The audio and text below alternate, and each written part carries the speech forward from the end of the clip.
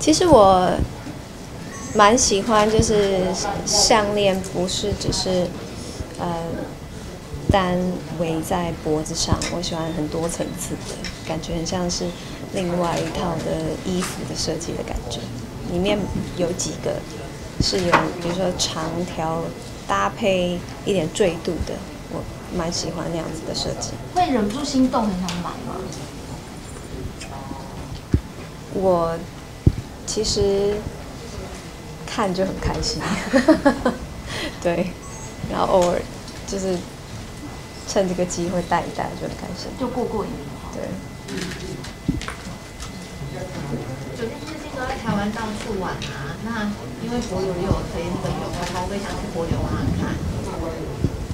我我其实大家看到我的照片都应该是浓缩的，我蛮多时间都待在家里，所以呃，但的确我很喜欢大自然，所以如果有机会的话，就会想要去里面走走啊，呼吸一下那个叶子跟树木的味道，这样。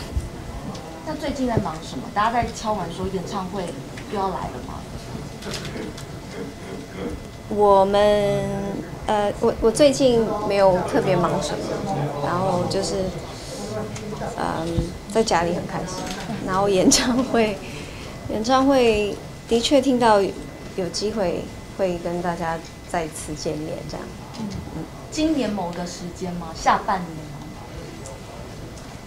好像是上半年。哦，那蛮快的哎。对。所以很快就会有好消息。对。就是台北小巨蛋这样。我跟你们 在这个活动上。哦。然后就是那个之前 MV 啊有很少国际影展，那当当初得到消息的时候，内心有很激动。呃，其实我是蛮蛮替导演跟他的团队，他们非常辛苦。然后我我自己是觉得很兴奋吗？好像也没有特别。只是很替他们感到开心，这样，因为我的工作已经结束了，所以我我没有特，嗯。